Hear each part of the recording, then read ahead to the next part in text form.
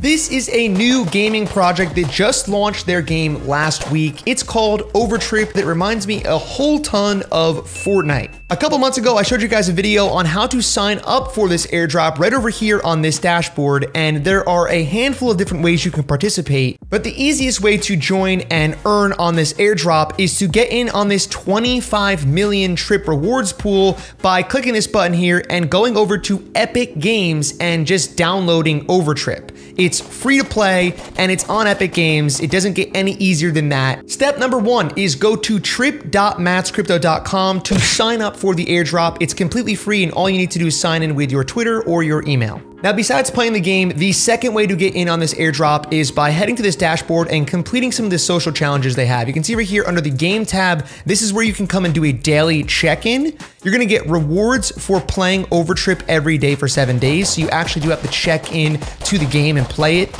uh, at least one match each day to verify that you did these seven days, which will give you 5,000 points. There are also other game missions like getting kills, going on a trip, using certain weapons in the game to get kills, and those are all to give you different points.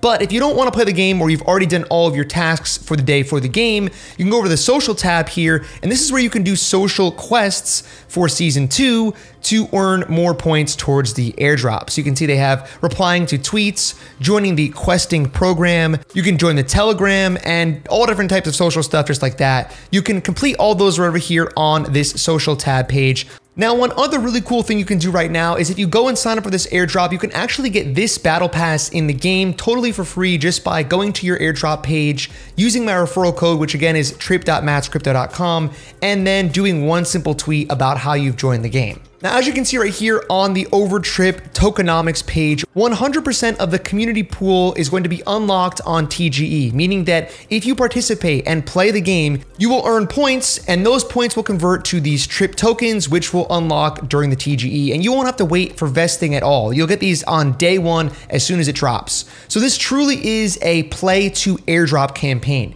Instead of play to earn, the token hasn't even come out yet. So you can play the game, earn points, and those points will convert to the airdrop airdrop once that happens. So I haven't seen any other product that's really like this, where it's directly by playing the game, you will earn airdrop points and therefore airdrop tokens.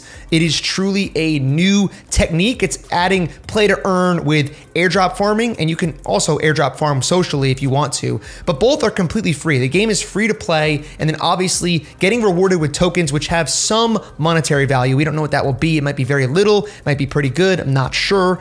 Can't say. We don't know yet. But getting something back for your time rewarded in the game by playing the game and actually doing well in the game is pretty cool. Now, this is the total tokenomics breakdown, and we can see that the actual amount of tokens that are getting released for the pre-playing the game in the beta, the phase we're in right now, is 25 million. And that's actually a very small portion of the total distribution, right? This is the airdrop right here, 25 million to the airdrop. If you're an NFT holder, which they have an NFT collection, you're actually gonna get a pool of 75 million tokens. So I wouldn't say we can expect a crazy, crazy amount for playing the game. I don't think you should have their expectations crazy high compared to these other numbers, but you do get 100% of those tokens at TGE, meaning that you won't have to wait like these other ones will. The NFT holders are going to only get 20% at TGE, then they have to wait two months and they're going to get the rest of their tokens, the remaining 80% of the tokens that they got from the NFTs over the course of the next 12 months. So it's a lot longer of a waiting period to get those tokens